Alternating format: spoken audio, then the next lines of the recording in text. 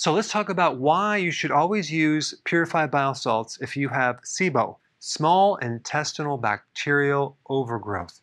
What is SIBO? It's a situation where you have a good portion of your microbiome, your flora, your friendly bacteria in the wrong place. It's in the small intestine. It needs to be in the large intestine mostly. What happens when these microbes get up into the small intestine going backwards up through here, it creates a lot of problems because you get fermentation of fiber in the wrong places. So you're going to get a lot of bloating. Our, our small intestine is not designed to ferment fiber. So you get bloating, gas, and these microbes compete for nutrients. You're supposed to break down and digest a lot of the nutrients in the small intestine. Well, if there's bacteria in there that's competing for the food, you're going to have a lot of nutritional deficiencies. So there is a lot of people that have SIBO that don't even know it. All they know is they get a lot of bloating. Okay? Now, most of the carbohydrates are broken down and absorbed into the small intestine, except fiber.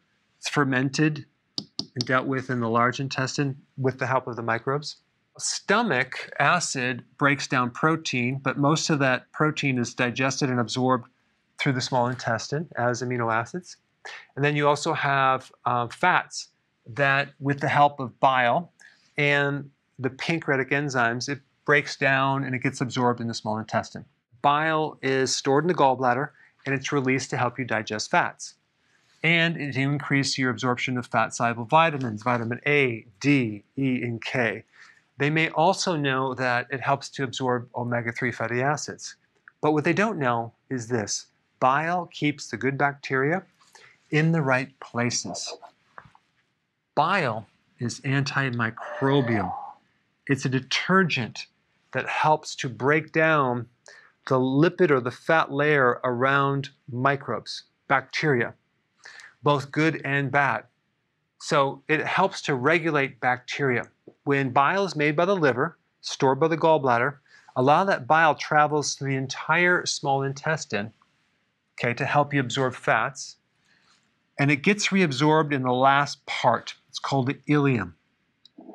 So the majority of bile, actually it's 95%, not 90, gets absorbed in the last part of the small intestine. Why is that? Because the body wants that bile to travel through the entire small intestine to regulate and make sure that you don't get SIBO, to keep the bacterial count low. And then when it gets to this last part, it gets reabsorbed back to the liver, and the whole cycle starts again. So the great majority of your bile is recycled.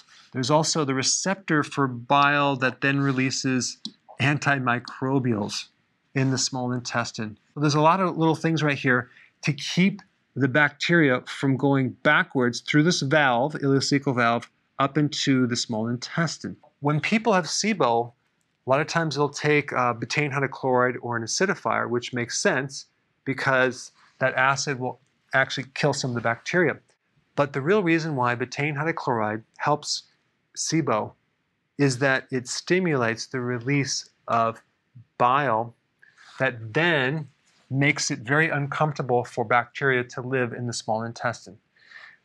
Now, bile salts also seal up leaky gut. Very important to prevent autoimmune diseases. Bile salts decrease the motility of the small intestine. Why? Because we want to maximize the digestion and the absorption of nutrients in the small intestine, as well as keeping the bile in the small intestine to make sure that we kill off all the bacteria. But then when it hits the large intestine, it increases the motility. Okay, so it's a little bit different in the small versus the large. If you take too much bile, you may find that you get diarrhea. So you would want to back off and just take smaller amounts. Bile is involved with regulating something called migrating motor complex. Now, what is that? Well, when you fast for five to seven hours, you may feel that your, your stomach is gurgling or making sounds. You may actually feel it and hear it.